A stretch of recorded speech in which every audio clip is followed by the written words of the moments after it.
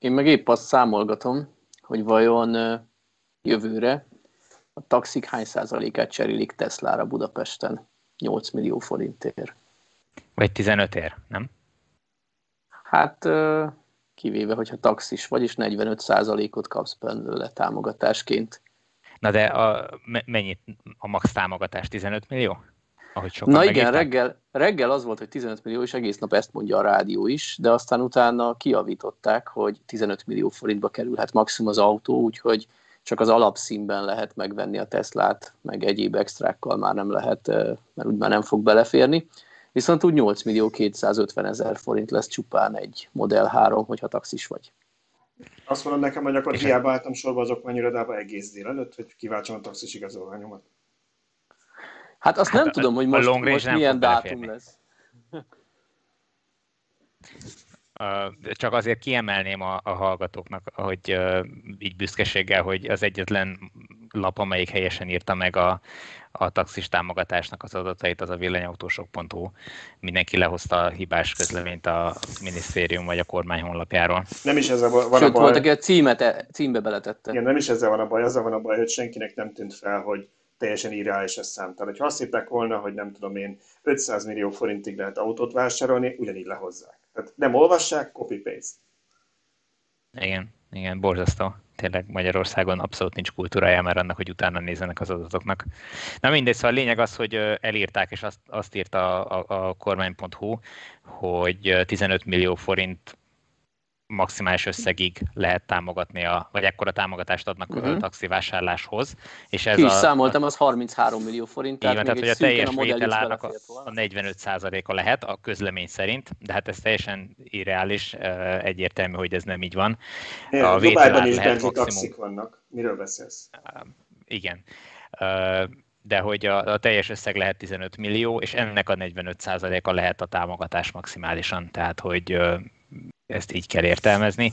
Ez még így is egy nagyon bőkezű, egy picit szerényebb, mint a legutóbbi körben volt, viszont azért még így is elég jó, és ugye, mint ma reggel kiderült, ebbe bele fog férni egy standard Range pluszos Tesla Model 3 is alapkivitelben.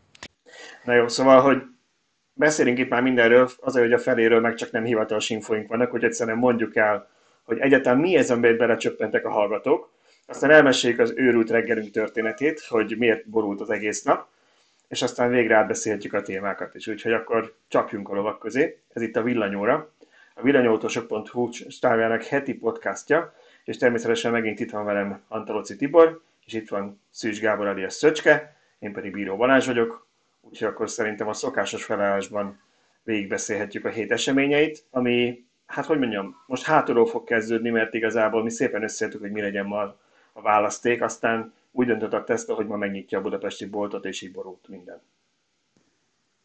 Hát olyan napja hát... volt ma a magyar elektromobilitásnak, hogy ki kellett dobnunk a tartalomjegyzékünket, azt hiszem. Igen, nem csak a Tesla miatt. Olyanok vagyunk már, mint a Reuters gyerekek, de tényleg így bejön a breaking news, eldobunk mindent. Na, akkor elmeséled, hogy végül Elmesél, meg, meg, meg, meg, elmondom, hogy Egy mi az, amit tervezünk, amit tervezünk, aztán meglátjuk. Szóval, hogy Természetesen azzal fogunk kezdeni, hogy megnyílt a Tesla hazai forgalmazása, aminek itt csak egy lábjegyzet, aztán majd beszélünk róla, hogy, hogy valaki azt írt a Facebook kommentben, hogy miről nagy szó ez, más is rakhatnak ki plázába egy autót. Van, van, aki, van akit ez nem érdekelt, úgyhogy nagyon sok időt ne vesztegessünk rá, mert ez, ez egy ilyen non-event volt, úgy érzem. Aztán arról is beszélni fogunk, hogy újraindul a taxis pályázat, ami azért vicces, mert ugye még hivatalosan nem írták ki az állami ö, támogatást ugye a villanyautókra, de állítólag a taxis azt már most kirakták, vagy hát legalábbis ma lejött egy hír a minisztériumból, hogy milyen feltételekkel lehet majd taxikra pályázni, vagy taxik milyen feltételekkel tudnak pályázni villanyautókra. Utána elővesztük a chip hiány témát, mert ez megint, megint az a kör, ahol Tibor kicsit felhúzta magát, hogy megint úgy érzi, hogy picit ködösítenek itt a gyártók, vagy hát valami nem teljesen kerekasztaliban. És ha jut időnk rá, akkor beszélünk egy olyan autóról is, amit a héten teszteltünk, és amiről, ha minden igaz, hétfőn tudjuk kirakni a cikkeket és a videókat. Aztán meglátjuk, többet nem is mondok, van egy-két témánk, amit hoztunk múlt hétről is. Meglátjuk, van-e rá időnk, mert szerintem az is bőven elég, hogy magunkat ismerem, így is végigbeszéljük majd a másfél órát, úgyhogy akkor kezdjük is. Tesla? Kezdjük a Teslával? Szerintem az a nap híre, úgyhogy kezdjük azzal. Oké. Okay. Úgy hát indult ugye... ma reggel, bocsánat, igen, hogy belevágok, igen. hogy Balázs bedobta a szerkesztőségi chatbe, hogy megvannak a magyar árak, és ezzel igen. megelőzte a teljes magyar médiát, mindenki minket linkelt, büszkék is vagyunk Balázsra. És, és én itt szeretnék, szeretnék gyorsan köszönetet is mondani Tesla Masternek. Az volt, hogy, hogy ugye tegnap elkezdett terjedni, hogy indulni fog ma a Tesla volt, amit én, én gyorsan felvettem a kapcsolatot a magyar Tesla vezetővel, aki azt mondta, hogy ő semmit nem mondhat, mert szigorúan meg van neki tiltva, hogy előre nem mondhat semmit egy újságnak se, ha elindultak, akkor szólhat, úgyhogy sem megerősíteni, sem cáfolni nem tudja a hírt, amit persze mindenki értelmezen úgy, ahogy akar. Úgyhogy úgy voltam vele, hogy biztosan biztos, gyorsan megbeszéltük hármasban, hogy akkor bekészítek erre egy hírt. Annyit hagytam csak üresen, hogy mik lesznek az árak, nyilván, mert azt nem tudtuk. És akkor mondtam, hogy reggel majd azért ránézek a weboldalra, mert ki tudja, tehát lehet, hogy egy unatkozó webmester Kaliforniában beülőzítette, hogy elinduljon Magyarországon éjfélkor, de lehet, hogy majd csak reggel, amikor bemennek Fremontban az irodába, vagy nem tudom, hogy lehet, hogy Los Angelesből csinálják, fogalmam nincs, akkor, akkor majd szépen rákattint valamire, és Igen, akkor frissülnek. Ez, ez rég ki van szervezve Indiában, ne viccelj. Lehet, lehet. Szóval akkor Gupta Indiában rákattint, hogy frissüljön a magyar oldal, mondom, fogalmam nincs, oké. Okay. És reggel ilyen 6 óra sok volt, amikor így nyílt ki a csipám, és próbáltam összeszedni magamat, hogy emberi formám legyen, amikor rám írt Tesla Master, hogy Balázs, láttad már az árakat? Gyorsan fölmentem a magyar oldal, és akkor láttam, hogy ád egy van magyar oldal, kettő vannak árak. Úgyhogy innen is köszönet neki, mert akkor volt, hogy azon a tiplisztem föl a, az emeletre az irodámba, és gyorsan befrissítettem a cikket, ezért volt kint ennyire gyorsan. Na, de ugye mindenki is köszönhetjük, hogy van magyar ár, illetve hát, hogy a, a, a kettő látszólag összefügg mégse, ugye van magyarországi bemutatóterem, vagy, vagy, vagy szalon, vagy showroom, vagy nem tudom, nevezzük bárminek, azt a kis dobogót, amire kiállítottak egy Tesla Model 3-at, meg vannak magyar árak. Ez ugye sokan összekötik, meg azt hiszik, hogy most mi, mi emiatt örülünk, hogy lett egy olyan dobogó a, a Mon. Nem, nem a dobogó a Mon Parkban a lényeg, hanem az, hogy, hogy lett hivatalosan egy működő magyarországi hát leányvállalata tulajdonképpen a Teslának, aminek most ez mai nappal megindult a tevékenysége, és biztosítja azt, hogy az autók megrendelhetők legyenek, illetve Magyarországon hivatalosan átvehetők legyenek a, a Teslától, a Tesla hivatalos képviseletétől. Ez itt a lényeg. Nem az, hogy most ott meg lehet nézni, az is egy jó dolog, bár azért Teslát elég sok helyen meg lehetett nézni, elég csak kimenni Török Bálintra vagy Fótra a Superchargerhez, és lehet akármennyit, akármilyen színben nézni. Itt a lényeg inkább az, hogy, hogy szakavatott emberek válaszolnak a kérdésekre, és adott esetben segítenek ott a megrendeléseket is leadni az online felületen, hiszen megrendelni továbbra is online kell az autót. Ja, hát természetesen, tehát nem, minket nem szponzorál a Tesla, úgyhogy ahogy, ahogy más autógyártó sem szokott fizetni azért, hogy írjunk róluk jót vagy rosszat, illetve hogy ha van fizetett hirdetés, ott oda van írva, hogy ez fizetett hirdetés, vagy hát elég egyértelmű, hogy hirdetés van az oldalon. Azért örülünk neki, mert végre ez a reményt ad arra, hogy akkor először is legális csatornából tudunk autót venni itthon, tehát nem szürke importból, biztos a háttere, nem valami okosban megoldva német támogatással, mégis fél évig az autó német rendszámos, én megmondom személy szerint, én nem szerettem volna például egy autót venni, bármilyen márkát, mert, mert szerintem ez így nem oké. Okay.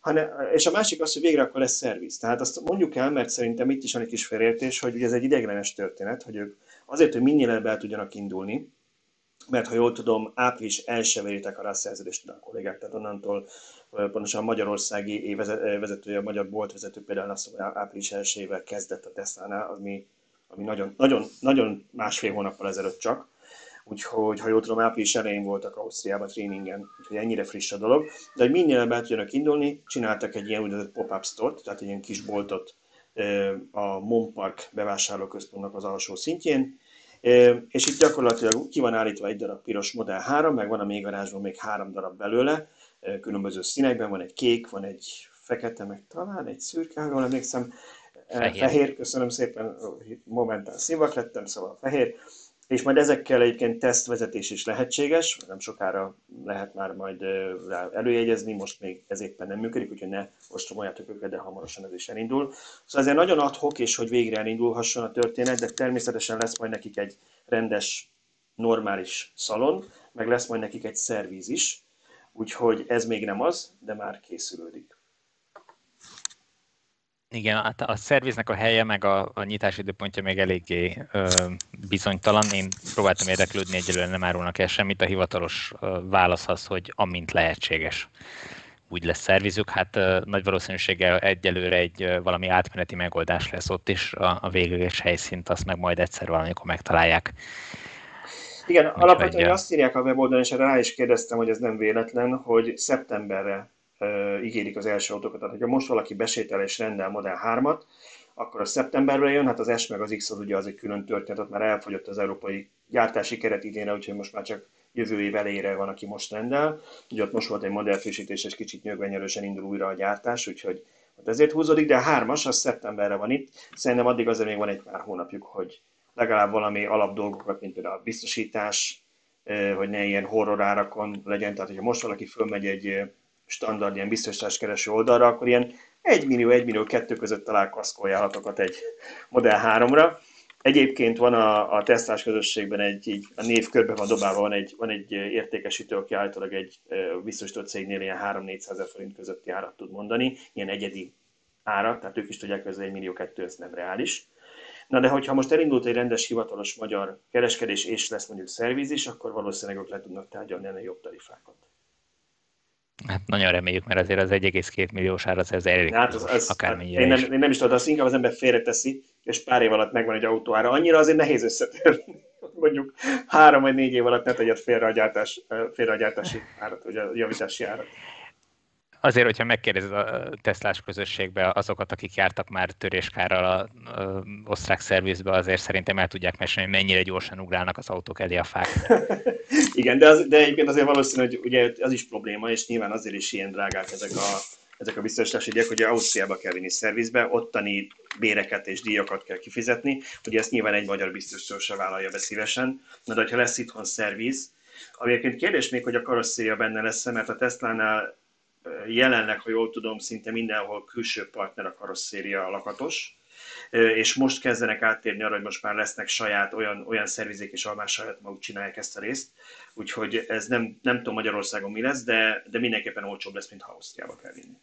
Figyelj, biztos vagyok benne, hogy Magyarországon is találnak olyan ö, festőműhelyt, meg olyan karosszéri lakatost, amely megfelel az ő. Tehát ne, nem hiszem, hogy ez ne lenne megoldható Magyarországon. Tehát ha, ha akarják, akkor biztos meg tudják oldani. Visszatérve nekem még erre a pop-up store-ra, az igazság, hogy voltam én is most reggel elszaladtam megnézni személyesen. Nekem egy kicsi csalódás volt. Tehát szerintem ez, amit ott kialakítottak, és most abszolút nem bántani akarom, mert tényleg az, hogy nyilván kapkodni kellett gyorsan összerakni, ennyi, ennyi sikerült, oké. Okay.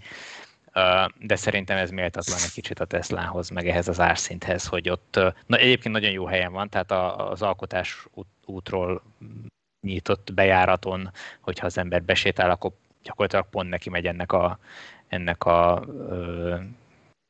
mi, ez, mi ez a kis dobogónak, ami, amin az autó áll, tehát nagyon jó helyen van, viszont rosszul van megvilágítva, nagyon szűk a hely, nagyon pici a belmagasság, az egésznek valahogy úgy nem, nem tesz jót, az, az összkép nem, nem az igazi szerintem. Uh, hát bízom benne, hogy minél hamarabb tovább tudnak innen lépni. Hát az ideiglenes megoldás, egyébként ez nem egy magyar sajátosság, tehát ilyen popasztot külföldön szoktak csinálni, sőt van ennek olyan verziója, amit ilyen ilyen ideglenes helyekre telepítenek, ahol mondjuk nem tudom, van valami eseményrendezvény, és oda kiviszik, úgyhogy... Ez tiszta sor, de, de ennek, egy, ennek egy nagyobb, tágasabb hely kellett volna. Tehát, hogyha ha mit tudom én... A, ez kiüríthették mondom... volna a spártot és bevihetik oda, de szerintem ideglenes... Na, erre gondoltam, igen, igen. tehát, hogy így van, tehát hogyha ha kilakoltatják a spárt, vagy a médiamártot, vagy az akármit, akkor, és annak a helyén megcsinálják, az teljesen jó. De így, hogy ott a sarokba... Hát igaz, és szerintem, szerintem a taxisok nem is vannak itt Teslát venni. Egyébként, ha már taxi, Na, látod? Igen. és akkor mindjárt passzoljuk Szöcskének, mert ő mostanában a taxifelelős, neki van nírója, tudjuk, hogy miért, ugye tudjuk, miért van níród. De várjál, várjál, én már láttam, láttam, láttam a Szöcske frissen rendszámozott autóját a Haun fönt hirdetésbe. Már, tehát, már, már, már meg is forgatta a pénzt. Jó, hát figyelj, tudni kell. Na szóval, hogy, hogy, hogy... Szerintem reggel megrendelte a Tesla. Hogy szerintem azért mondjuk egy Niro valószínűleg alkalmasabb egy taxinak, annak egy jól pakolható, ötajtós, tehát ötajtós kiadása jól pakolható csomagtere van. Ugye ez egy, ez egy limuzin forma a Model 3, egy Model Y már lehet, hogy, hogy jobban alkalmas egy taxinak. És, és láttuk, hogy Még egy zongora Még egy zongora Egyébként mondjuk, tehát vannak, vannak nyilván Model 3, tax, Model 3 taxik ma is, tehát van, aki, van, aki azért ezt így bevállalja, de van egy érzésem, hogy a Niro azért még mindig népszerűbb lesz a taxisok körében. Elképzelhető, és azért itt nem annyira fontos pont az, hogy mondjuk van egy Supercharger használat, hiszen egy, egy taxival valószínűleg a utasok ritkán mennek Nyugat-Európába.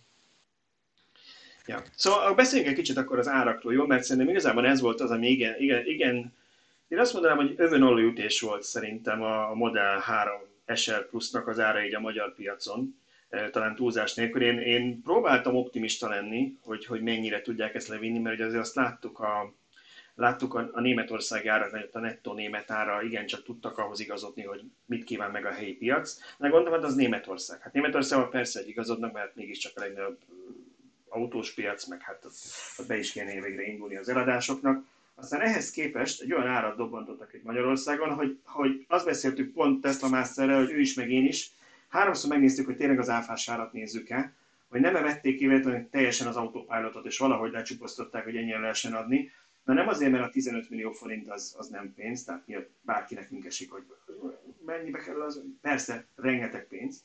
Na de ennek az autónak mi olyan 16-17 millió körül vártuk a magyar árát, az európai árakat ismerve. Csak mondjuk valamit Ausztriában például jóval drágább, mint nálunk, és az, az nem, az ország, nem az kontinens másik vége. Úgyhogy ha jól tudom, ott valami 40, hát most hülyeséget fog biztos mondani, nem vagy hagyjuk hülyeséget is, ami 41 ezer euró, ha jól emlékszem, a nettó indulóára. Nálunk meg, ha visszaszámolom, akkor nettó 39 ezer valamennyi. Tehát még az osztrákárnál is, is olcsóbbak lettünk. Úgyhogy ez a 15 milliós induló ár, ebbe az is belefér, hogy ha véletlenül mégsem változik az új támogatási rendszer sávhatára 16-ig, a 15 még az is belefér hogy abba is belefér. Igen, mondjuk érdekes, hogy a taxikra továbbra is 15 millió a határ, és a plegykák pedig arról szólnak, hogy 16, vajon elválik egymástól a taxik hát, és a, a egyéb, egyéb autók ára? Vagy a plegykák rosszak, és, és, és ugyanaz marad. Egyébként itt még az érdekes lehet, én ezt próbáltam erről kérdezéskedni, nem olyan tudtak erre nekem mit mondani, hogy ugye van ez a bizonyos kötelező forgalomba helyezési díj, amit valaki nehezményezett is, hogy miért nem írtam bele az árba címbe. Egyrészt mert reggel hétkor volt kb. három perc, hogy mi az elsők, hogy most is elnézést kérek mindenkit, hogy nem lett még részletesebb. De örültem, hogy beírtam a számokat, és nem kutyultam össze. De igazából ugye az van, hogy ilyen forgalombeállítási díj az minden, minden gyártónál van, tehát hogy forgalombeállítási díj. Hát, öm, igen, hát csak a mértéke változik. Vált, persze az igen. változik, meg van akinek 100 forint, van, ahol ezt elengedik akciós jelleggel, tehát vannak különböző megoldások erre. Ugye itt a Tesla-nál ez egy ilyen 300 ezer forint körül, ha jól emlékszem, 300... 390, nem? 360 valami ilyesmi. Igen, igen, igen. És ugye, ha ezt hozzáadjuk, akkor már a SR Plus is 15 millió fölött van. De szerintem az az állami támogatásos keretben nem fog beleszámítani a szabályokba a forgalomba helyezési díj. Nagyon remélem legalábbis, mert az egy külön, általában egy külön sor a számlán, és ez nem az autó ára. Hát reméljük legalábbis, hogy ezt, ezt így szemlezzák ki, biztos azért ezt körüljárták. Igen, ez a forgalomba helyezés költség, ez Amerikában szokott inkább egy durvább összeg lenni, ahogy én hallottam. Magyarországon tényleg ilyen 100-150 ezer forint környékén meg szokott állni. Persze, hogy biztos itt is vannak olyan márkák, ahol ez magasabb összeg. Le, lehet, hogy megoldják, és el lehet kérni a Teslától rendszám nélkül, hogy majd magamnak hát, intézem 80 ér a havernál. Ez, ez alapvetően ez mindenhol a Tesla, ez az 1000 euró körül van Európában, úgyhogy én gyanítom, hogy ez itt is ezért lett ennyi. Nem, mert hogy bruttó 1000 euró, úgyhogy nem nagyon hiszem, hogy ezt el tudnak tekinteni. Én csak abban reménykedek, hogy ez nem fog itt, itt problémákat okozni a támogatásnak. Reméljük. Hát, hogyha egyébként, hogyha 15 millió marad az állami támogatási határ, akkor ez azért a többi autógyártónak fog felfejást okozni. Tehát a nagyobb akus autóknál nyilván befér. Hát azért viszonylag sok nagyobb akus autó befér 15 alá, tehát ott azért a, mondjuk ha... Igen, csak akkor megint ott van, hogy beférni befér, csak megint akkor nem lehet semmit se kérni hozzá. Igen, igen, az extrákról kell lemondani. Őszintén szóval engem nagyon ledöbbentett ez a Tesla, én sem gondoltam, hogy a, hogy a magyar piac elég nagy ahhoz, hogy egy egyedi árat adjanak, illetve ugye a világrekord áfa. Rögtön felmerült fejemben nem csak nekem, sok kommentelőnek is, hogy akkor majd beindul a, reexport, hogy megveszik Magyarországon, és elviszik Németországba forgalmazni. Én erre azt mondom, hogy talán itt nem fog az megtörténni, mint a dízel prémium autóknál, mert valószínűleg akkor nem tudják rá igénybe venni a német támogatást, és annyival nem lesz jobb a, a magyar nettó ár plusz a német áfa, hogy lemondjanak mondjuk egy német támogatást. Azt mondom, hogy Berlinben mindenhol magyar rendszámos autóknál Az is lehet. De, de akkor beszéljünk egy kicsit az árakról, mert főleg, hogyha valaki csak hallgat minket, akkor, akkor nem biztos, hogy birtokában van minden információnak. Tehát úgy indulunk, hogy a Model 3 Standard Range vagy Standard Range Plus az 14 millió 15 millió forint. Jó? Ez, a, ez az az autó, ami elvileg a VLTP szerint 448 km-es hatótávval bír, ugye ennek egy darab hátsó motorja van, és ez is bőven 200 fölött megy, és 5 egész valamennyi a gyorsú, tehát szerintem senkinek nem lesz ezzel gondja. A csúcs töltési teljesítmény az 170 kW, és az AC az 11 kW mindegyik Model 3-ban. És, és télen fűtéssel is tud 130-as autópályatempó mellett egy ilyen durván 250 kilométert. Igen, tehát ez, ez az autó ugye már hőszivattyúval rendelkezik, úgyhogy 110-zel meg a Tibor tesztje szerint akár még 300 fölött is lehet vele menni, úgyhogy szerintem egy egész, egész jó deal ennyi pénzért.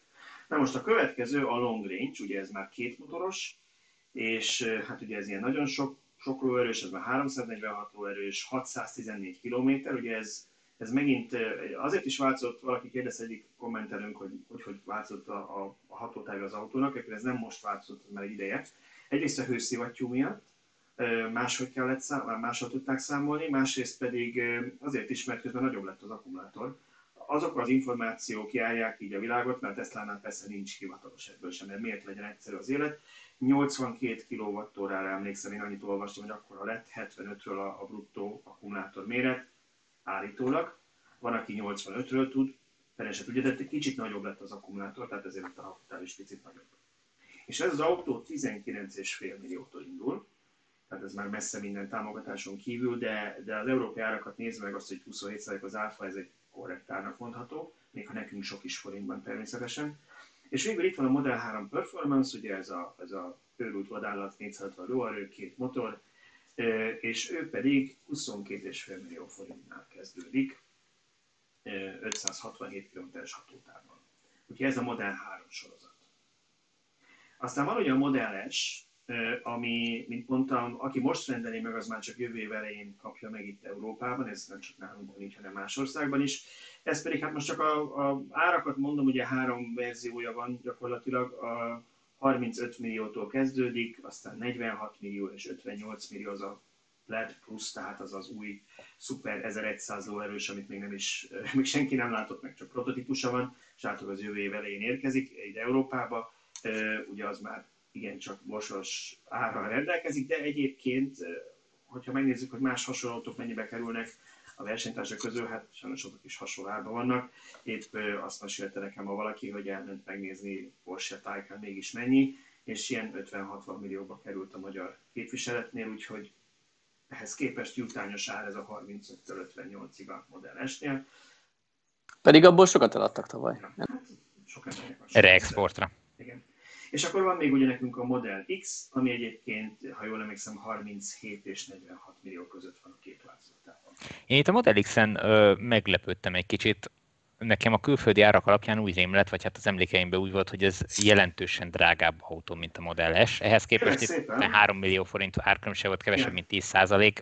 Ez, ez, igen, erről én is beszéltem ma ott egy-két emberrel, és ugye alapvetően az van, hogy, hogy régebben volt egy jóval nagyobb árkülönbség a Model X meg az S között, Uh-huh. Aztán most ez konkrétan úgy néz ki, hogy az alapmodell, tehát a, a sima long range, a Model X-ből az 3 millió forinttal többbe kerül, mint a Model S-ből az alapmodell, a long range, viszont a LED verzió, ami a, követ, ami a középső mind a kettőből, az fillére megegyezik az S és az X között.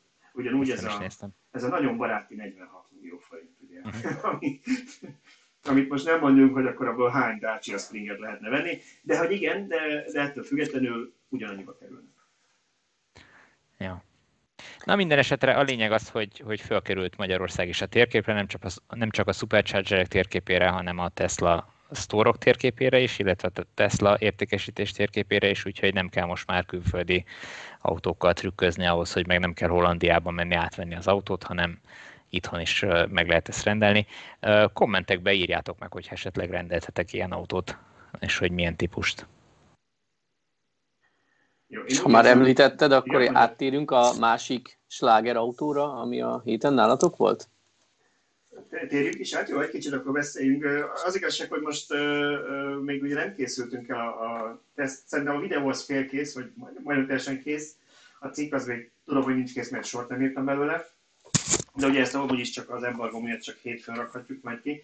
De a lényeg az, hogy, hogy igen, teszteltük a Dacia Springet, amit kb. 42-szer Springnek mondtam a felvételni, és azt gondoltam, hogy ti nagyon fog venni, ha megint újra kell emiatt vennünk. Ne kérdezzetek, hogy miért mondom Springnek, fogalmam nincs, szóval Dacia Spring, és eltöltöttünk egy, egy napot, sőt Tibornál több, többet volt az autó, én kb. egy napot töltöttem vele, úgyhogy szerintem erről nagyon, két nagyon jó videót forgattunk, vagy hát két videót forgattunk, mert nem tudjátok, hogy nagyon jó lett, én szerintem az, az alapanyag jó lett, aztán meglátjuk, mit hoztunk össze. Kösz. Hogy... Ja, tehát innentől, ha nem tehát, hogyha szar lesz a videó, akkor Tibor rontotta el. Kösz. Igen, nem, ezt úgy értettem, hogy maga a téma izgalmas volt, meg jó dolgokat sikerült szerintem volna megmutatnunk, aztán meglátjuk, hogy a, ugye ez mindig ugyan, hogy elmegyünk ketten videót forgatni, ugye ne képzeljétek azt, hogy valami hatalmas tában, pont erről beszélgetünk Tiborral, amikor autózgattunk, hogy ugye egy ilyen Top Gear vagy ilyesmi műsoroknál, hát lehet, hogy ti csak azt a műsorvezetőt látjátok ott, ott van egy ilyen location stáb, akinek az a feladata, hogy ők elmennek, keresgélnek helyszíneket, néznek, hogy egy jól fog kinézni, fotókat csinálnak, aztán a, a rendezőnek behozzák, hogy na akkor hova megyünk majd forgatni. Akkor mondjuk lezáratják az utat, meg beraknak 15 kamerát előre, hogy csak oda kell menni leforgatni. Szóval ez lehet, hogy nagyon egyszerűnek néz ki, de nem pont az, mint amikor két pasi a nyakába veszi az országot, és úgy emlékszik az egyik, hogy itt volt valami szép kanyar, amit talán föl tudunk venni. Miközben zúgrak el a kamionok, és mindig újra kell kezdenünk. Na, szóval a lényeg az, hogy reméljük, hogy, hogy nem csak nekünk tetszett ott minden, hanem a videó is majd visszaegyezte, erre gondoltam, és normális anyagot tudunk nektek adni. Meg ugye nyilván cikkben is beszélünk róla, de Tibor szerintem úgy kezdte, mert nála többet volt az autó.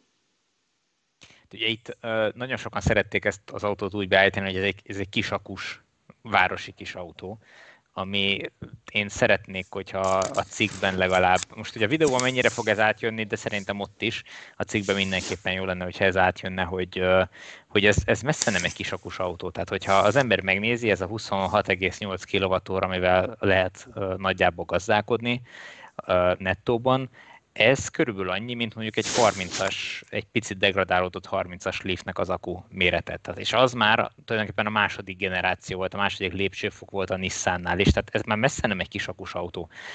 Miközben ez egy sokkal kisebb, fizikailag kisebb méretű autó, mint a, mint a Nissan Leaf, tehát tulajdonképpen hát elég jó, akár sokkal jobban is el lehet vele közlekedni, nagyobb távokat lehet megtenni ezzel, főleg városban. Fontos kérdés, hogy jól fogyaszt? A kicsi. fogyasztása önmagában abszolút értékben nem rossz. Hát egyetlen nagyon szomorú szituáció van, amikor mellé rakod a Model 3-nak a fogyasztását. Na, az akkor nagyon csúnyán néz ki. Tehát, hogy a Model 3 egy jóval nagyobb autóként autópályán minden sebességhatár mellett sokkal alacsonyabb fogyasztás, fogyasztás produkál, mint ez a 44, 44 kW-os, azt hiszem, vagy 44, 44, 44 lóerős. 41 lóerős motorú autó, hát az, az úgy elkeserítő. Na jó, azért, mert ez már csúcson dolgozik, hogy autópályán tudjon haladni. Igen. De mit fogyaszt városban? Ott barátságos? Alapvetően ö, lehet vele nagyon kis, tehát úgy nem volt lehetőségem, hogy csak városban menjek vele olyan fix köröket, amivel kiderülne, hogy, hogy most mennyi a fogyasztása. Vegyes használatban ilyen 13 fél, 13-13 fél fogy, volt a fogyasztás, amiben ugye van nálam mindig autópályaszakasz is, meg országút, meg város, tehát szerintem simán lehet vele hozni ilyen 10-11 kWh per 100 km-es fogyasztásokat városon belül, tehát azt szerintem teljesen elfogadható. Nem lesz über jó fogyasztású, tehát ez, ez az autó nem erről szól, de ezzel az akkumulátorral, ezzel a 26,8 kWh-s akkumulátorral a városban, amikor az emberek többsége maximum 50-60 km-t megy el, vagy még annyit se egy nap autóval, úgy ez bőven megfelel. Tehát simán ki Elég hetente tölteni. Nagyjából igen, tehát hogyha ha a városba használja valaki, és nem kell minden nap kétszer fölfűteni az autót, akkor ilyen 250 km simán el lehet vele menni. Ha föl kell fűteni, nyilván akkor az már költségesebb dolog, már úgy értve, hogy energiával költségesebb, tehát ott arra szánni kell energiát, mert az, az, az ahhoz sok kell, hogy, hogy mit tudom én, egy 5 kilométeres úthoz fölfűtsük az utasteret. A jó hír viszont az, hogy viszonylag jó a fűtése, tehát pillanatok alatt fölfűtés, meg kellemes meleget tud csinálni. Jó, és én... nagyon pici belül? Szerintem nem. Én, én nagyon megkedveltem így városi használatra. Tehát uh, szerintem abszolút korrekt. Uh, egyszerűen el kell fogadni, hogy ez nem az a szint, ami korábban volt a, a villanyautók első köre, amikor ugye úgy próbáltak eladni magasabb áron elektromos autókat a, a vevőknek, hogy, hogy egy ilyen nem prémium belső, de egy jobb felszereltségű autót vagy autóba rakták be a technikát. Most nem erről van szó, itt most már berakták abba az alsó kategóriába, ahol nem számít az, hogy most nincs mindenütt uh, puha, tökéletes burkolat, de ami meglepő, vagy meglepő, hát szóval kellemes csalódás, hogy az utastérben például majdnem minden le van burkolva, alig látni benne fémfelületet. Tehát nem, nem az van, mint korábban az olcsó autókban volt, vagy akár a, a szerintem a tripletekben is viszonylag sok fémfelület van, nem? Tehát, hogy ott, ö, ö, ott is viszonylag sok látszik, itt szinte semmi, tehát minden szépen le van burkolva. Nyilván látszanak a, a spórolós megoldások, de azt szerintem ebben a kategóriában teljesen elfogadható. Szóval hagy, hagy védjem meg. eddig voltunk mi elkényeztetve, hogy... Abszolút. Ha, hagy védjem meg én is kicsit a, dát, hagy, hagy védjem meg én is kicsit a Dacia-t, mert uh, én nagyon fontosnak tartom, hogy autókat ugye a kategóriájukon belül, meg az árszinten belül kezeljünk. Tehát ez az autó 6,5 millió forinttól indul, és természetesen lehet azt mondani, hogy uram Istenet, 6,5 millió forintért már beilleszthető, milyen autót kapnék benzinesben, de ha a villanyautóhoz nézzük, ugye tudjuk, ez egy drágább technológia, számtalanok, nem megyek bele, 72-szer beszéltünk róla, jelenleg még, bár ugye azt olvastam, hogy 5 éven belül már olcsóbbak lesznek, mint a benzinesek, és egyébként ez valószínűleg így is lesz. Szóval, hogyha ettől eltekintünk, akkor ez gyakorlatilag a legolcsóbb kapható villanyautó a Magyarországon, és erre úgy kell tekinteni, mint egy hasonló, mondjuk, nem tudom én, 4 millió körüli kis autóra, ahol szintén az ember tudja, hogy, mű, hogy kopogos műanyagokat kap, szintén tudja, hogy nem króm lesz mindenütt, meg nem valódi bőr.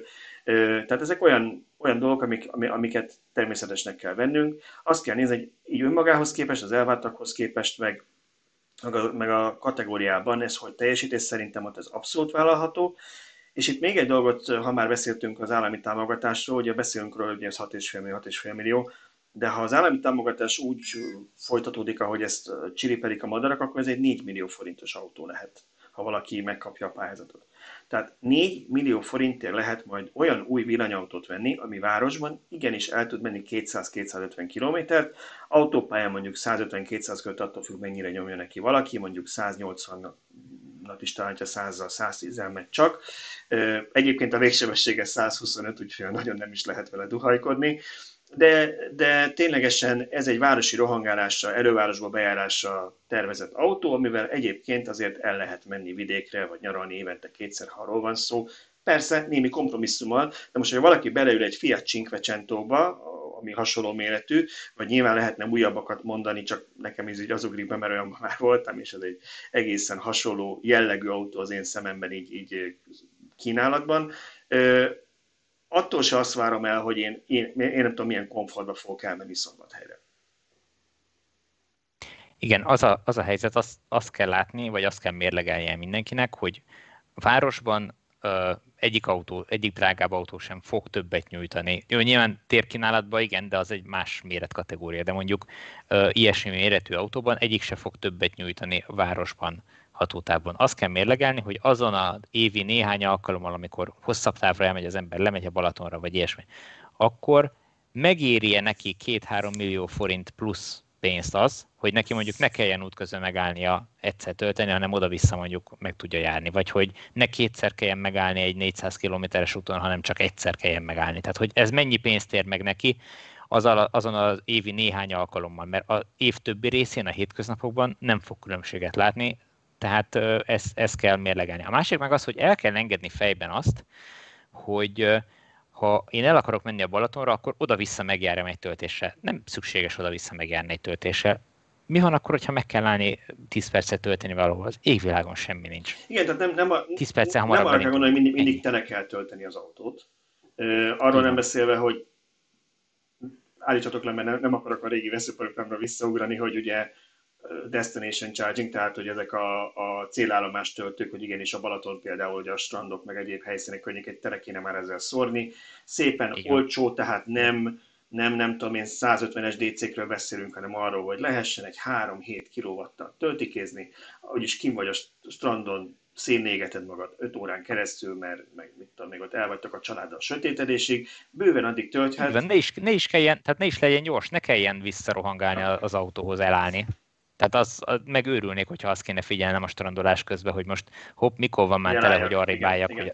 Szóval, igen, szóval, ez... szóval ezt én egyetértek azzal, amit mondasz, Tibor, ez abszolút ezeknek a paramétereknek megfelel az autó, ez egy remek vétel lesz. És hogy mondjak még egy-két jó dolgot. Én amikor készültem fel a forgatási napra, és próbáltam összevetni, hogy, hogy a többi hasonló vagy ilyen olcsóbb villanyautó, amit ugye lehet vagy lehetett kapni régebben, azokhoz ez hol helyezkedik el.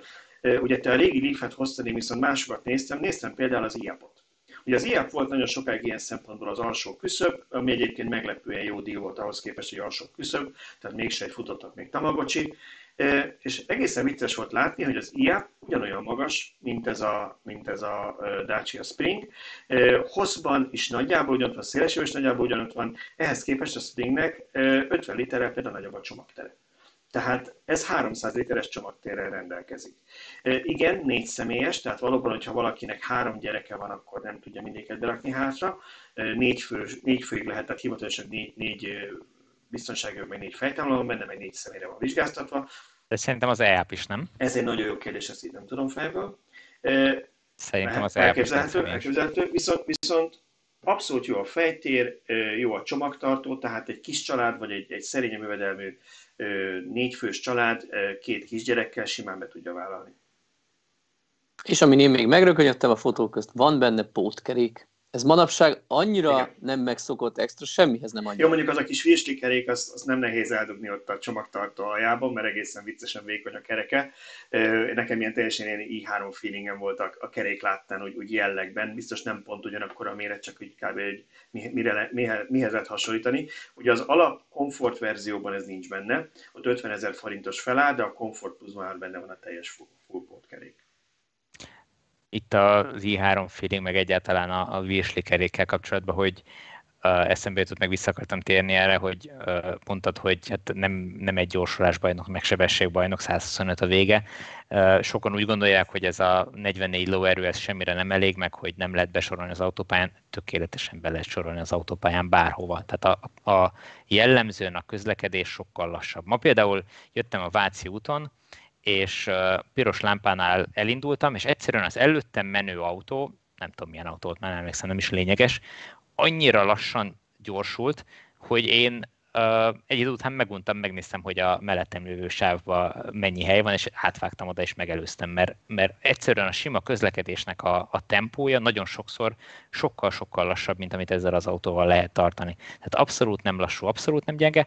Egyetlen egy hely volt, ahol, ahol nem bírta tartani a lépést, ezt a maximális sebességet, az az autópályán Gödöllő előtt, ahogy jövünk Miskolc felől, ott azon a hosszú emelkedőn, meredek emelkedőn, ott visszaesett GPS szerint 110-re a, a sebesség, ami a kijelzőn 115 volt, ennyi. Na most ott nagyon sokszor a benzines autók, sok benzines autó sem megy sokkal gyorsabban föl, vagy azért, mert sokat fogyasztana, és a tulajdonos azt mondja, hogy hát hoppá, akkor inkább lassít, vagy azért, mert egyszerűen azt se bírja. Úgyhogy, Igen, a közös forgatási napon is ugye e, rész, az időnek egy részében két autóval voltunk, és akkor hol Tibor követett engem az én autóval, hol én, hol én őt, hogy kicsit jobb felvételeket tudjuk nektek csinálni, és ott is az volt, hogy ahol a, az M7-esen így emelkedőn kellett besorolni és fölfelé menni, ott természetesen lehetett érezni, hogy 44 óra van az autóban, tehát ott, ott azért tövig nyomtam, és, és Tibor húzott el előttem az én, az én 14 éves benzines autómmal, de ahol egyenes volt a terep, ott nekem nehéz volt utolérni. Mert még mindig ott volt az, hogy ez egy villanyautó ezzel a nyomatékkal, és hiába papíron kétszer olyan erős az én régi benzinesem, ettől még sokkal jobban tudtam ott gyorsulni, pláne az elején a, a gyorsulásnak, tehát nyilván 100-ról 120-ra már lassabban megy. Egyébként a legtöbb villanyautó ugye nincs is bennük váltó, tehát az áttét miatt az nem annyira optimális nekik, mondjuk a Taycan kivételével, de az teljesen más kategória. De abszolút vállalható autópályán is, nem lesz ezzel szerintem senkinek nagyobb gondja. Persze reálisnak kell lenni az elvárásoknak. Tehát megint csak, ha valaki vesz egy ilyen pici autót, mondjuk vesz egy benzines iapot, az nem tudom, van-e még, az nem iap, az app lenne csak, de igen, volt ugye benzines app, vagy ezeket a méretű autókat, azokkal se fog szerintem M5-ös BMW-ket legyorsulni az autópályán. meg az a helyzet, hogy, hogy ha ezeket az autókat valóban a városban használják az életük 90-95%-ában, aki többnyire ott vezet, az a sofőr az nem igazán lesz autópályán magabiztos. Tehát amikor ő fölhajt az autópályára, akkor nem azzal fog kezdeni, hogy, hogy 140-re gyorsul, és majd akkor cikázik az autók között. Az szépen óvatosan fog csak elkezdeni fogja elkezdeni kóstolgatni az autópálya tempót. Nem is akar. Tehát ezzel az autóval én, én arra figyel, vagy azt figyeltem meg saját magamon, ezzel az autóval én nem nagyon akarok autópályán 110-nél többen menni. Egyszerűen nem, nem az a méretű autó. Jellemzően egy ekkora méretű autóval, ilyen stabilitású autóval, most nem azt akarom mondani, hogy ez instabil, nem arról van szó, de ez egy relatíven magas építésű és keskeny autó. Na most ennek érződik a, a, a hatása a, a, menet stabilitáson nem azt mondom, hogy, hogy bizonytalan 125-nél, de szerintem kényelmesebb csak 110-zel menni vele. Én azt mondanám egyébként, hogy ha már így uh, arról beszéltünk, hogy, hogy mire képes az autó, hogy amikor valaki összerakja, főleg, hogy ennyire olcsó, én azt mondanám, hogy kicsit szálljon rá még egy pár forintot, és én például javasolnám, hogy a Comfort Plus-t vegyen a Comfortot. 400 ezer forint a különbség, és ezért kap egy jó Abszolút pár olyan dolgot, például az alapverzióban csak egy sima mezei old school rádió van, oké, okay, bluetoothos, nyilván, de a drágában már benne van ez a 7 incses vagy 7 szoros kijelző, ami, ami Android autót vagy, vagy Apple CarPlay tud tükrözni, mind a kettőt kipróbáltuk, mind a kettővel teljesen utána lehet használni. Tehát ez, és tök jó responsív, tehát teljesen Igen, utána ez teljesen, teljesen megéri, ez a, ez a felár, és ugye van még mellé a DC töltés, és sokkal úgy gondolkodnak, hogy hát én általában a városban fogom használni, és akkor nekem nem kell a DC töltés, és tudom, hogy azt hiszem 180 ezer forint, tehát nem két fillér, viszont szerintem sokkal benne adható tőle az autó később. Úgyhogy én azt mondanám, hogy ezt ne spórolja ki bele senki, tehát tessék a Comfort Plus Semmi. meg a DC töltés belerakni. Onnantól kezdve összes többi opcionális, nincs is nagyon sok dolog. Viszont ezekkel így gyakorlatilag az autó, hát mennyi, 6 millió 5, 6 millió, 8, azt hiszem, még így is 7 millió forint alatt lesz az ára, vagy kb. 7 millió, amiből ha jön az a 2,5 millió forint, akkor 4,5 ére lehet vinni kb. szinte full extrásan. Igen, érdemes úgy rendelni, én is azt mondom. Én most így zárásként, hogy ezt a témát lezárjuk, én egy kritikát fogalmaznék meg, de ez nem is igazán a Dacia-nak, mint inkább az Európai Uniónak szól, hogy a, az a nyomorék gyalogos figyelmeztető hang az borzasztó. Tehát azt, akik kitalálta, azt kell egész nap fülhallgatóval, ha kérhetnénk. Egész nap fülhallgatóval ezt hallgassa. Tehát, és ebben az, a szörnyű, ebben az a szörnyű, hogy értjük a szándékot. Tehát értékelhető, bár ugye azt már többször elmondtuk szerintem, mert hogy nem tudom, felvételen mondtuk ebben, csak egymással beszélgettük már többször, hogy a modern benzinesek, vagy pláne a hibridek, amik ugyanúgy elektromos üzemmódban mennek a parkolóban csak, vagy, vagy egy tényleg egy modern benzines is tök halkan tud osonni egy parkolóban 20 azokat se lehet nagyon hallani. Tehát azokra mi, akkor mi nem azt mondják, hogy x decibel zaj alatt az autókra, nem, csak az elektromosra. És ezért tényleg az a baj, hogy még parkolóban egy-egy autó megy, oké. Okay. De utána, hogyha mondjuk már ezek az autók lesznek többségben, és ott áll a lámpán, és egyszer, amikor elindul, akkor mint a tücsök elkezd ciripelni 40 autó, Igen. majdnem vulgárisat mondtam, hogy mennyire idegesítő lesz, és az lesz. Úgyhogy, úgyhogy ez, ez, erre valami jobb megoldást kéne kitalálniuk, mert így nem teljesen oké. Okay. Igen. Sőt, egy, a legújabb divat, hogy állóhelyzetben is kell regnek. Na, ezt akartam mondani. Nekem hogy... az Ionic még olyan volt, hogy ha állt az autó, csend volt. Igen. Viszont, vagy legalább, lehet, hogy nagyon halk volt, de nem volt hallható. Viszont a Niro csak, ha P-be teszem, akkor hallgat el. Állok a pirosnál, D-ben, taposom a féket, és púg. Igen. Igen, ez pozitívum, hogy ez az autó csak akkor ad ki hangot magából, amikor megy is. Tehát amikor állsz, akkor, akkor megszűnik ez a hang. Tehát ez, ez, ez abszolút pozitívum. Tehát amit lehetett, kihoztak ebből de, de menet közben 30 alatt borzasztó a hangja. És az összes, összes új villanyautónak, tehát ez nem, nem Dacia specifikus dolog, egyszerűen csak idegesítő. Na akkor váltsunk gyorsan témát, mert van még itt egy pár dolog felírva, és szerintem most jön az a pont, hogy kicsit promózom magunkat, mert a végén el fogunk felejteni. Úgyhogy ha már így beszéltem, hogy milyen jó videókat forgattunk, hogy Dacia Springről természetesen lesz egy, egy fő, a főcsatornánkon egy tesztünk, úgyhogy ezt majd lehet szerintem, ez is, ha minden igaz, hétfőn kiderül, lehet ott keresni, de lesz róla egy második videónk is, egy egészen különleges vendégszereplővel. A vendégszereplő egy autó lesz egyébként, azzal fogjuk így egymás mellé állítani, és lesz egy kis gyorsulási teszt is a két autó között, nem lőném le a point, hogy mi a másik autó. Ez viszont az extra YouTube csatornánkon lesz, Tibor, hogyha jól sejtem. Úgyhogy ez a villanyadosok extra. Én oda gondoltam, hogy felrakjuk. Villanyadosok extra, úgyhogy bocsánat kérek Szöcskétől, hogy a felségteletére beelvezünk mi is de ezt szegény, szegény szöcskével én poénkodtam mondani, hogy az ők is home, home projektje, de nem. csak, csak ő rakott fel rengeteg-rengeteg videót, mert neki volt csomó anyag, meg elfekvőbe videó, de majd próbálunk idején érdekességeket gyártani pluszba. Úgyhogy van ez a két YouTube csatorna, a fő csatornánk, amin ez a podcast is megy, eh, ott lesz a teszt, és lesz az extrán egy ténylegesen extra videó, szerintem ez egy nagyon jó kis tartalom lesz. Ezen kívül persze vannak nekünk Facebook csoportjaink, Instagram, Twitter, mindenhol lehet minket követni. Ma például a Tesla kapcsán legalább kett, nem, három képet feltöltöttem Instagramon, ami szerintem Nagyot mentek. Nagyon, és szerintem életem első három képe Instagramon, ebből látszik, hogy milyen öreg vagyok. Úgyhogy ez is megvolt, ezt is abszolváltuk. Úgyhogy itt lehet minket keresni, és persze minden podcast abban megtalálható ez a podcast is. Kihagytam valamit, Tibor? Mit hagytam ki? Ennyi, én az Instát akartam kiemelni, hogy most egész nap csipogott a telefonom, hogy lájkolják a, a képeidet az Instagramon, úgyhogy... Mindig, mindig megbeszéljük, és mindig elfejtjük, hogy legközelebb szólj rám, hogyha megyünk együtt tesztelni, hogy amikor teszt videót forgatunk, akkor napközben Igen, egy pár kéne. képet föltolunk. Igen. elnézést, mert igyekszünk legközelebb egy kicsit erre odafigyelni még. Hát majd, ha akkor a stábunk lesz, hogy lesz sminkes, operatőr, lesz a social media külön, akkor lesz intern, egy aki ezt csinálja. Is, pontosan. Igen, igen, igen. A Fordnál volt ilyen, emlékszel Tibor, hogy volt egy fiatal ember, aki gyakornok, és ő foglalkozott ezzel, úgyhogy nekünk is kéne valaki, aki ezt, ezt hát majd ha akkorák leszünk, mint a Ford, akkor... igen.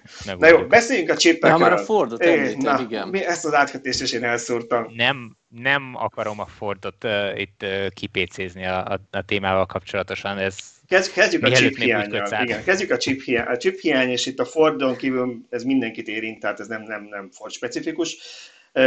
Ugye erről szerintem nagyon sokszor beszéltünk, és azt is elmondtuk, hogy nem kell még csak autós vagy villanyautós médiát csak követni, az összes mainstream hírportál foglalkozik ezzel, chip hiány van az autóiparban.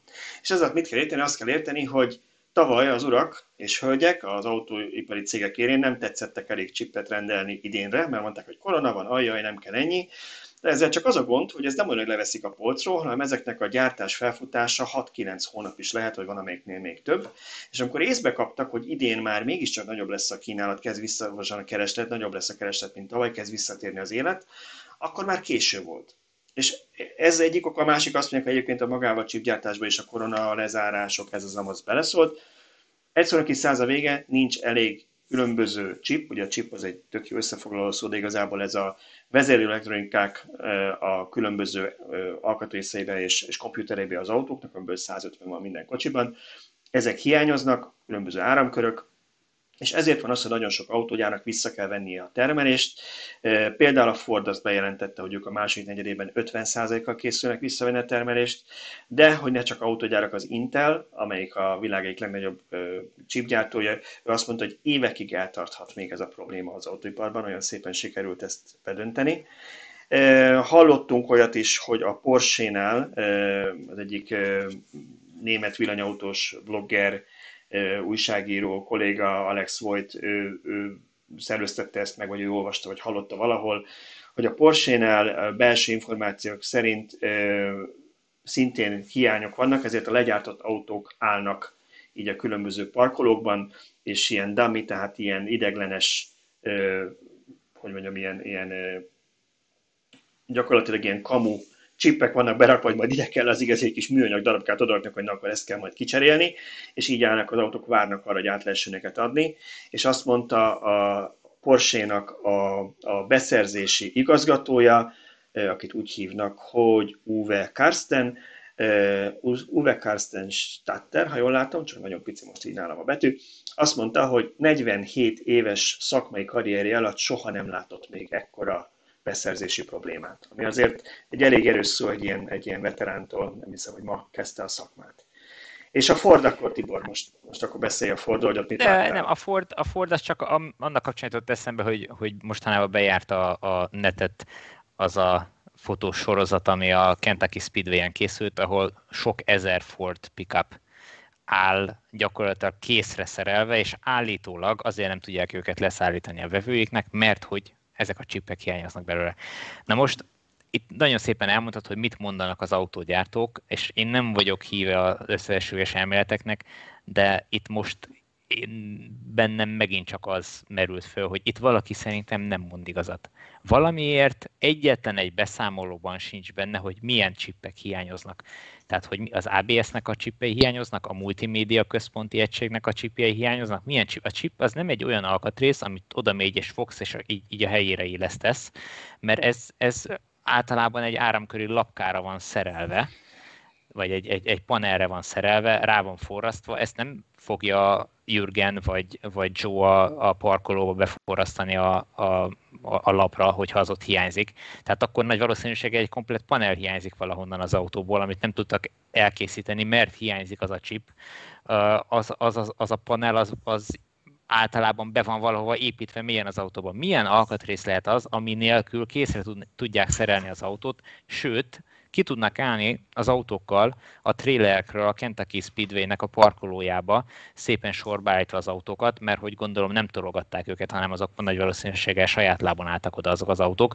Tehát, hogy, hogy milyen alkatrész lehet az, tehát ez nekem nagyon gyanús, hogy nem specifikálják ezeket. Sőt, én olvastam olyan anyagot is, amiben kifejtik azt, hogy ugye az autógyártók általában évekre le vannak maradva technológiában a, a legmodernebb eszközöktől, egyszerűen azért, mert hogy a most gyártott autóknak a, a véglegesítése az sok évvel ezelőtt történt, és akkor nyilván még, még egy korábbi technológia volt elérhető, és ez igaz nyilván a, a chipeknél is, tehát egy szélesebb sávszéle, sáv, minek hívják ezt, ez a csíkszélesség, csíkszélesség, igen, csíkszélesség, igen amit, amit alkalmaznak, és nyilván ezekkel a, a technológiákkal ma már modern eszközökben nem építenek uh, csipeket, meg nem gyártanak csipeket, hiszen ez, ez már tulajdonképpen elavultnak számít mondjuk egy telefonba, vagy elavultnak számít egy számítógépbe. Ergo nehezen tudom azt elképzelni, hogy ezek a, a, a gyártósorok ne tudnák legyártani azt, amit általában leszoktak tudni gyártani a korábbiakban. Nem hiszem, hogy most hirtelen beugrott erre az elavult technológiára más vevő. Úgyhogy valahol ez nekem az egész gyanús.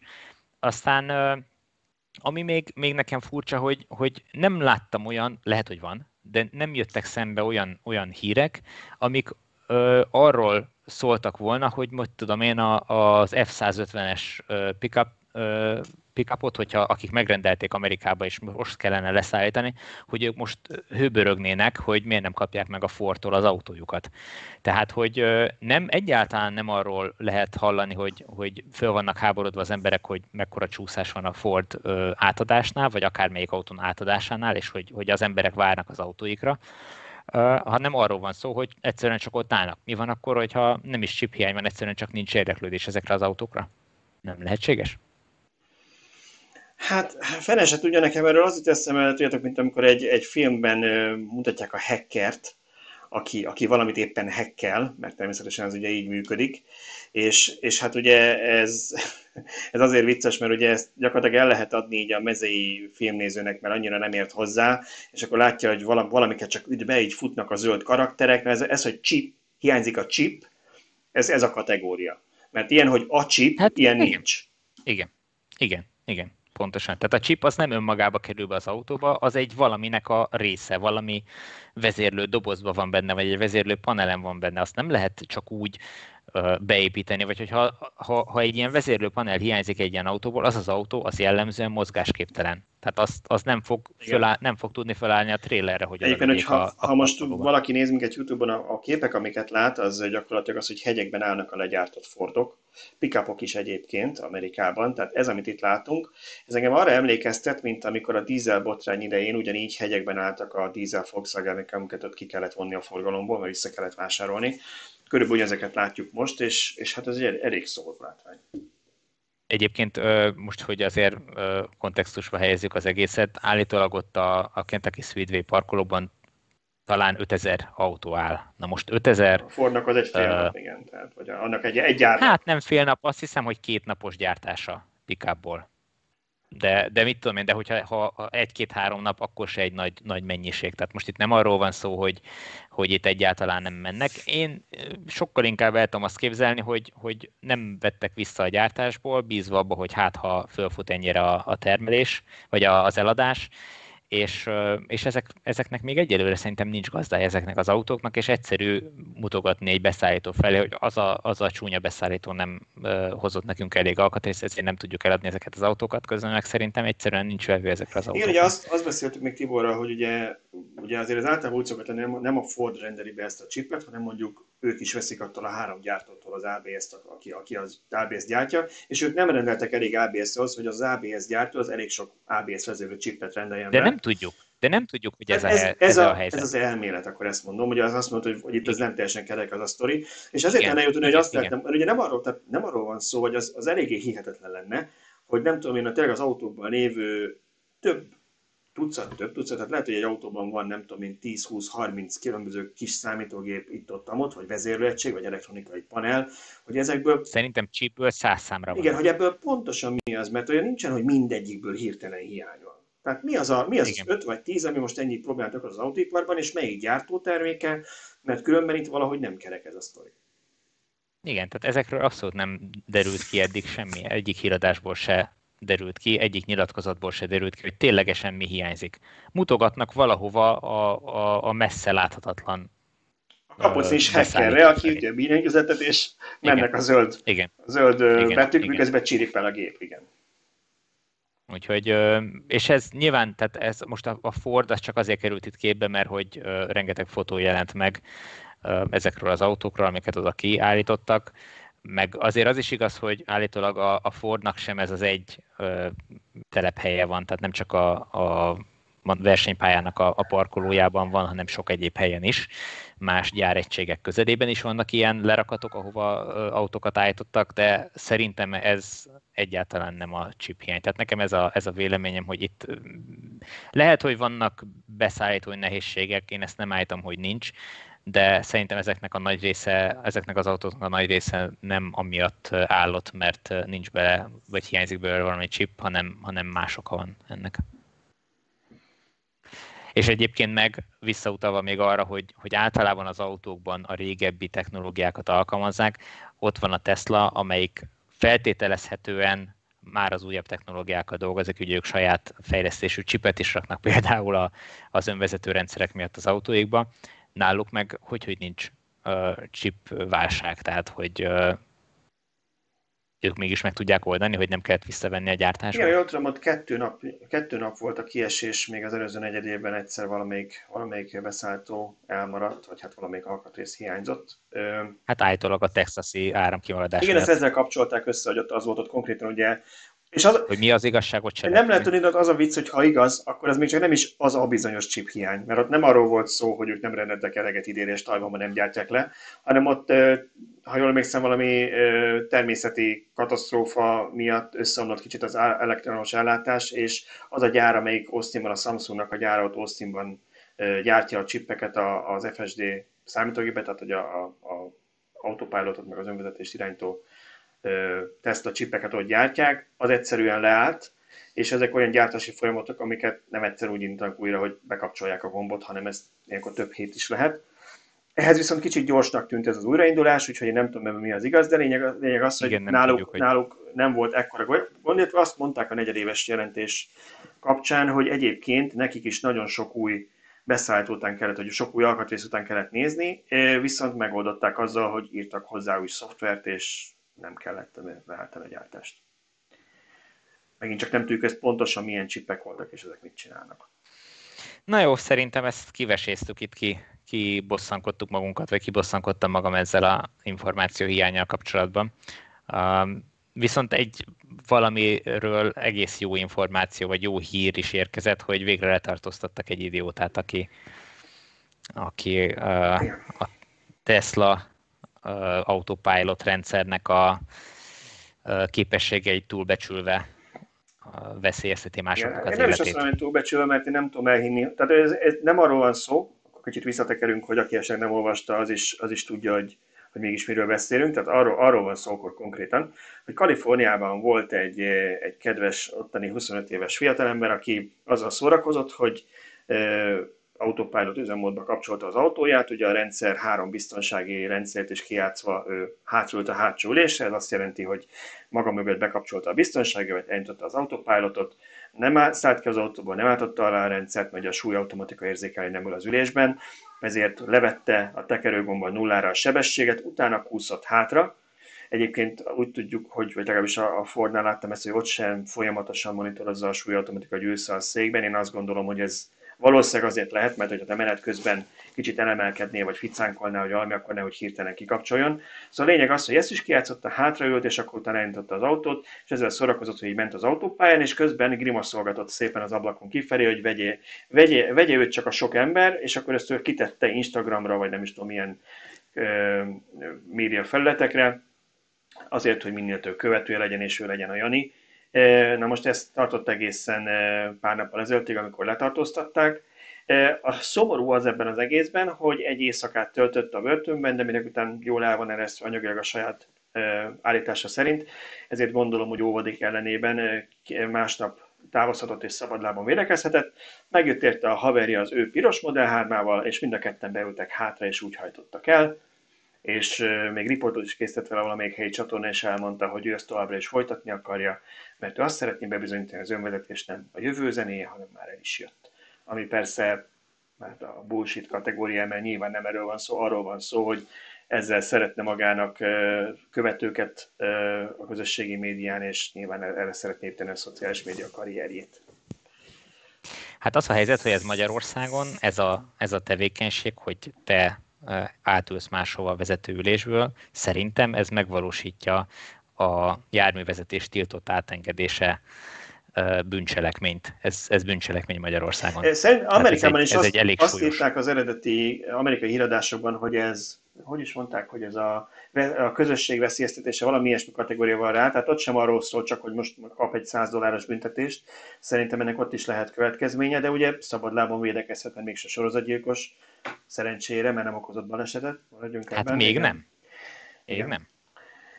És ugye ennek kapcsán mindig felmerül, hogy mekkora az autógyártóknak a felelőssége. Én azt mondom, hogy biztos, hogy van.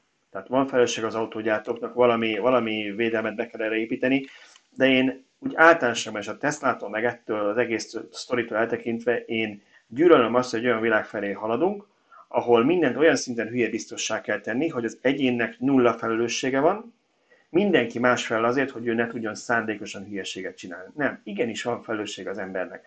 Most az egy dolog, hogy persze minden cég ír neked egy ilyen hosszú szerződési feltételeket, és azt sen, senki nem olvas, bármikor, amikor telepítetted a frissítést a telefonra végigolvastad, hogy senki nem olvassa végig, mindenki rákattint, oké. Okay.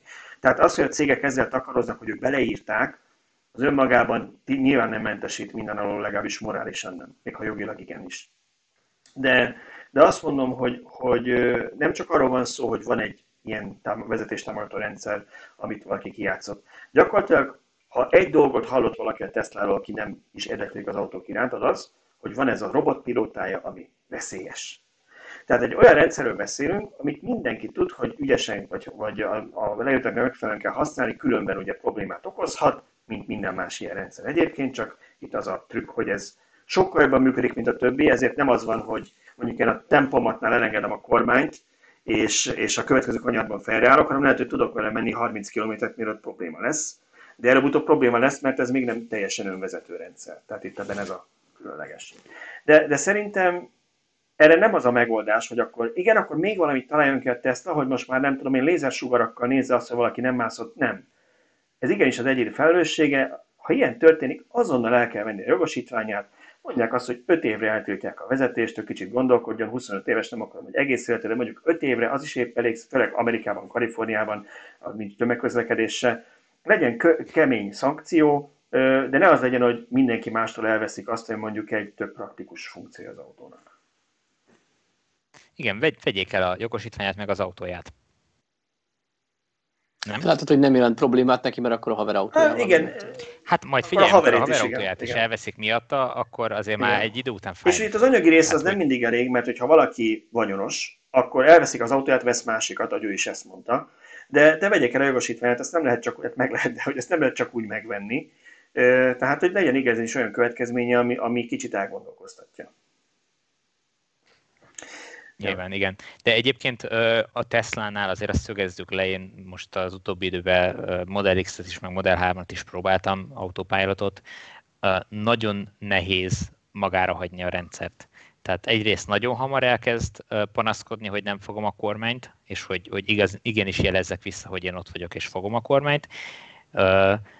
És és, és tényleg nagyon igényli a, a jelenlétet. Tehát tényleg nem lehet, hogy abban a pillanatban, hogy kikapcsolod a biztonságével, Tesla Master csinált erről egyébként egy nagyon jó videót, nézzétek meg, hogyha még nem Igen, láttátok. Ezt be is tettem a cikk, cikkünk aljára, úgyhogy ott. Ez már ilyen nagyon Tesla Master promóció lenni ez az egész videó. Szerintem most sírott, de, hogy, hogy milyen jól kifogasaltunk, hogy promózzuk de, de lényeg az, hogy, hogy tényleg, hogyha kikapcsolod a biztonsági jövet, rögtön vészfélogozik és leáll, hogyha nem fogod a kormányt, rögtön vészfélogozik és leáll. Én, ahogy csináltam az önvezető videókat, ha még nem láttátok azt, azokat is nézzétek meg, hogy ott én többször elrontottam, mert egyszerűen beszéltem, nem arra figyeltem, hogy ő most, most villog, láttam, hogy jól vezet, nem nyúltam bele időben, és, és többször is volt, hogy lekapcsoltam. A Model 3 videónál már, már azt hiszem csak egy vagy két alkalommal, de a Model X-nél állandóan elszúrtam. Tehát, hogy, hogy, ne, hogy egyszerűen... Nekem ebben az a döbbenetes, hogy most ugye, hogy amióta már én is így egy több autót teszteltem így az oldal jó voltából, mert nyilván előtt az ember viszonylag szűk körül, hogy milyen autókat vezet egy családban vagy ismerősök között. És és én tényleg azt mondom, hogy tudnék most kapásban menni legalább két olyan márkát, nem fogok, mert, mert nem lenne igazságos velük szemben, mert összes többi is ilyen, ami ennél sokkal kevésbé jelez vissza, amikor a vezetés támogatója eldobja magát. Tehát olyan autókba ülünk, ahol, ahol én nekem a kedvenc példám van egy márka, akinek két autó és engem már megpróbált meggyilkolni, csak szerencsére figyeltem, mert én csak azt vettem észre, hogy autópályán elkezdek sodródni a palánk felé, mert őt zavarta az, hogy szaggatott vonal lett hirtelen a becsatlakozásnál, aztán tudta értelmezni. Na most erről nem zenélt, nem villogott, nem szirénázott, nem kapcsolta, nem állt félre, hanem egy kis pici ikon azon a kis semmi kijelzőjén más színűre váltott. Ehhez képest Igen. nem látok róla szalagcímeket, hogy ez egy életveszélyes rendszer. Amikor van egy baleset, egyébként amikor van egy baleset egy ilyen autóval, én nem látom, hogy föltenné a kérdést az esti híradó valaki, hogy be volt-e kapcsolva esetleg a vezetés támogató ebben az autóban. A kutyát nem érdekli, senki nem figyel ezzel. A tesla ahol, ahol meg pirosan, először kéken villog, aztán pirosan villog, aztán szirénázik, aztán leáll, aztán kirakja a vészvilogot, ott meg minden kezem van kiakadva, hogy miért nem figyeli jobban a sofőrt. Ez nekem értetetlen. Tehát persze nem értem, Igen. de hát igen.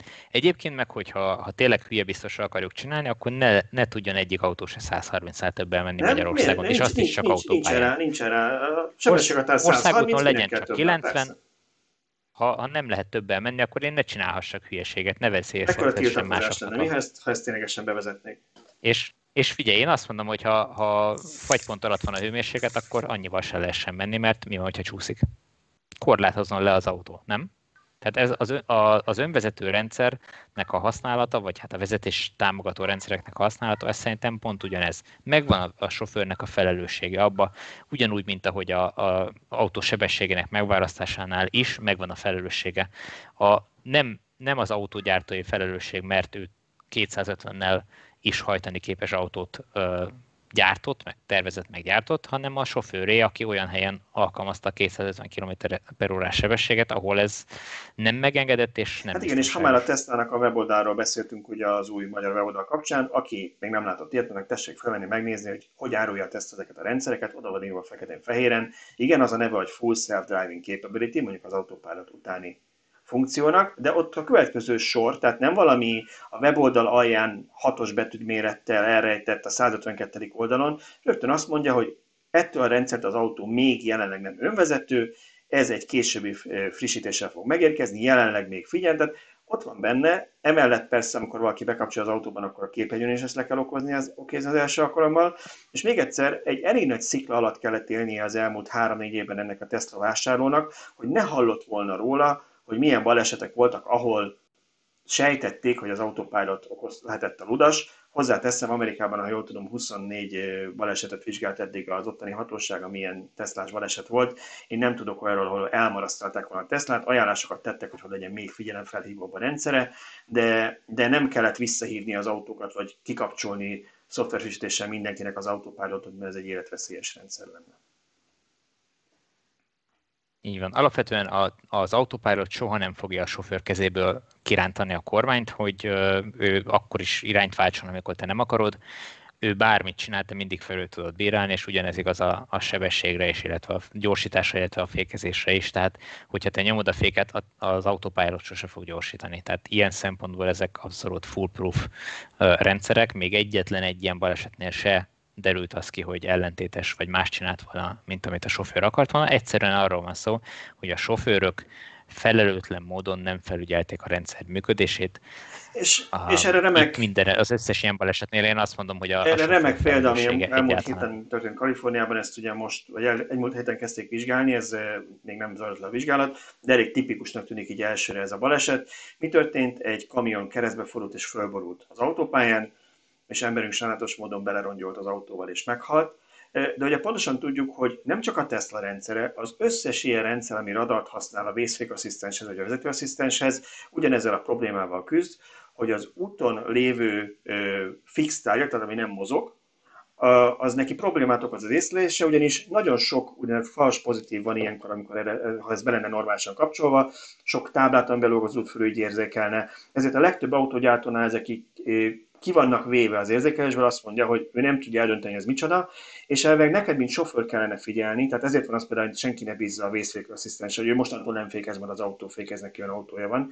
Ez nem, ennek nem ez a funkciója. A legtöbb vészfékasszisztens például, hogyha megnézzük, hogy mit ír a leírás, az nem is megállít téged, hanem mérsékli a becsapódás erejét. Ugyanis az autó a legvégéig azt feltételezi, hogy te, mint sofőr szándékosan csinálod, amit csinálsz, és ő a legvégén avatkozik be, és lehetőleg ezért már mérsékli a becsapódás erejét, de nem fog valószínűleg minden esetben neked megállni nullára az autó.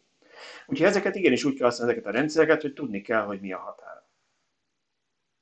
Elmondom, hogy ezek a problémák ez általában nem csak a radarral, meg, meg kamerával, meg ultrahangos szenzorral felszerelt vezetői asszisztenseket, meg rendszereket állítja kihívások elé, hanem az emberi adja a rendelkező sofőrök, sofőröket is. Tehát hetente közöl a, a magyar közút olyan videókat, amin belerongyolnak a, a útfeltartó munkás, vagy útkarbantartó munkásoknak a kamionjába az autósok Magyarországon, mert egyszerűen képtelenek arra, hogyha ki van táblázva, hogy itt egy útszűkület van, és ki kell kerülni az útépítő munkásokat, akkor ezt megtegyék. Engem, engem, ma, engem ma például egy Szerintem. ilyen, ami jöttem vissza a Tesla nyitásról, engem egy ilyen helyzetben előzött ki valaki egy erre jellemző típusjelű német márkával, miközben mindannyian vettük vissza a sebességet az autópár, úgy döntött, hogy akkor ő kielőz, mert, mert kielőz, mert hát nyilván azért megyünk lassan, mert mi hülyék vagyunk, és szar az autó.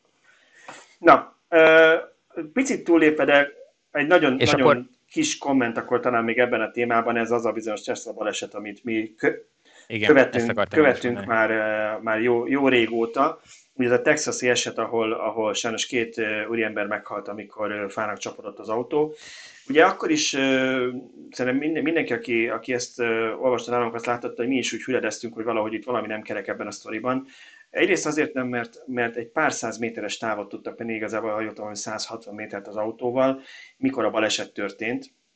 Tehát az, hogy te ilyen távon, ha azt tételezzük fel, hogy kikapcsolta ezt, vagy kijátszotta a rendszernek a biztonsági beállításait, te ilyen távon bekapcsolod az autopilotot, aztán leviszed nullára, aztán hátraülsz, aztán rárakod a súlyt a kormányra, és felgyorsítasz olyan sebességre, hogy rommá törd és porig égjen a, a, a modell esed, ami azért egy elég erős autó. Szóval ez eléggé furcsának tűnt, és a Tesla is azt mondta, hogy az ő adataik szerint nem volt bekapcsolva az autopilot, bár a kocsiban minden megsemmisült, minden, minden adatrögzítő rendszer, nem, ők azt mondták, nem azt mondták, hogy az ő adataik szerint, hanem Igen. hogy azon az útszakaszon Ez volt, a rendszer az nem az volt, hogy, be. Hogy, hogy, hogy, ők úgy tudják, hogy nem volt bekapcsolva, de aztán amikor a kocsiból próbáltak letölteni, nem tudom mennyit töltött vissza felhőbe a kocsi, amikor a kocsiból próbálták már leszedni az adatokat, ott ez nem volt elérhető, mert, mert megolvadtak a dolgok. De utána, amikor, amikor ez ténylegesen letesztelte, a két hatósága kezdve foglalkozott, egyértelmű lett, hogy azon az útszakaszon a rendszer nem is engedi bekapcsolni az autopilotot, mert, mert nem megfelelők a körülmények, tehát nem lehetett bekapcsolva a robotpilóta. Úgyhogy még azt nem tudják pontosan, még zajlik a vizsgálat, hogy, hogy mi történt, ember vezetette vagy nem, az egyébként már, nem, hogy ember vezetett, az biztos, de hogy, de hogy a sofőr, aki vezetett, az, az miért volt utána a hátsó Arról egyébként már a, a biztonságkamerák kép alapján, pont a, a sofőrnek a saját háza lévő biztonságkamerák kép alapján meggyőződtek a vizsgálbiztosok, hogy a sofőr beszállt a vezetőlésre.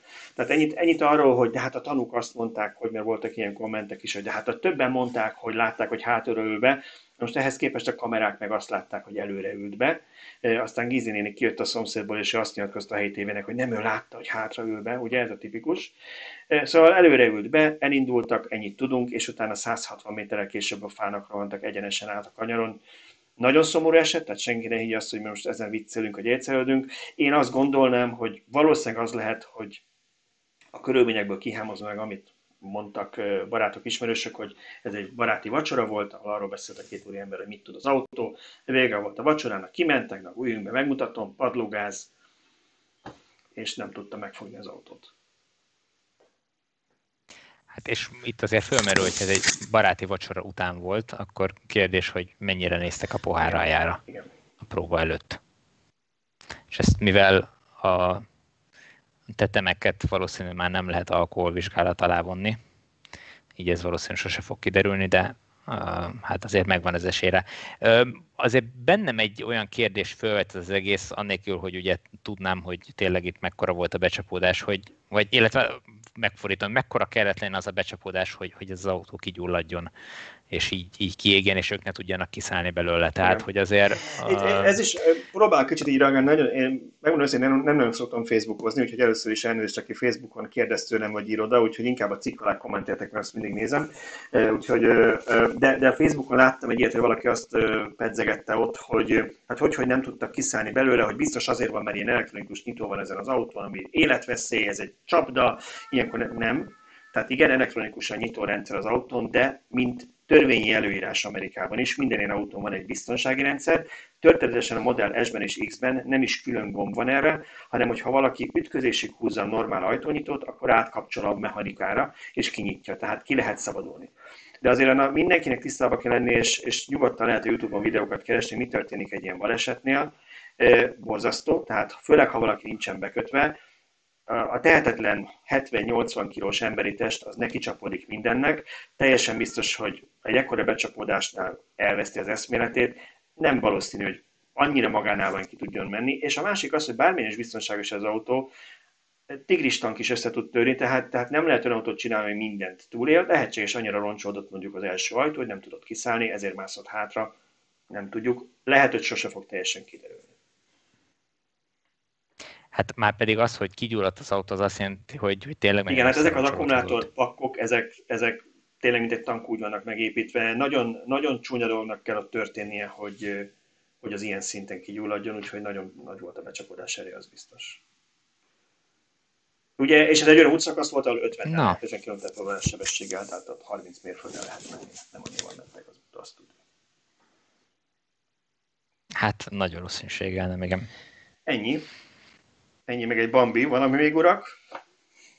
Valami bennetek maradt a hét eseményeiből? Nagyon sok mindent félretettünk, hogy most borult minden nem beszéltünk róla. Most mindent félre kellett tenni emiatt a kétszeres bejelentése, illetve a Tesla Magyarországi nyitása.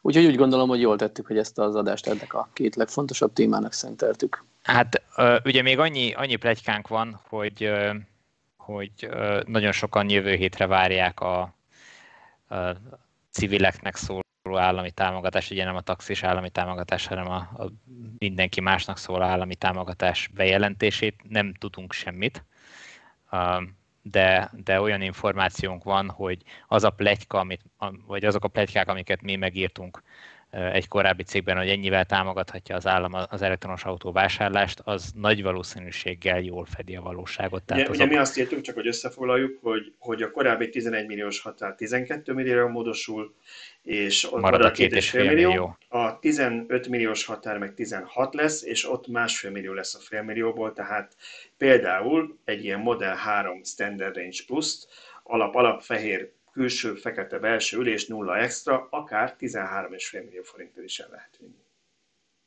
Ami azért nem egy olyan rossz ár egy Tesla Model 3-ért.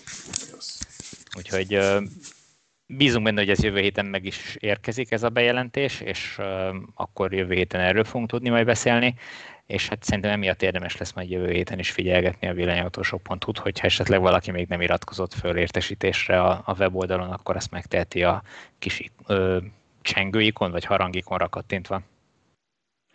Igen, és szerintem én már előre tudom, miről fogunk beszélni a következő heti podcastban, hogyha elindul a pályázat, úgyhogy gyanítom, hogy, hogy erről és ehhez kapcsolódó témákról fogunk beszélni, ha minden jól megy jövő héten. Akkor találkozunk jövő héten is. Sziasztok! Sziasztok! Sziasztok!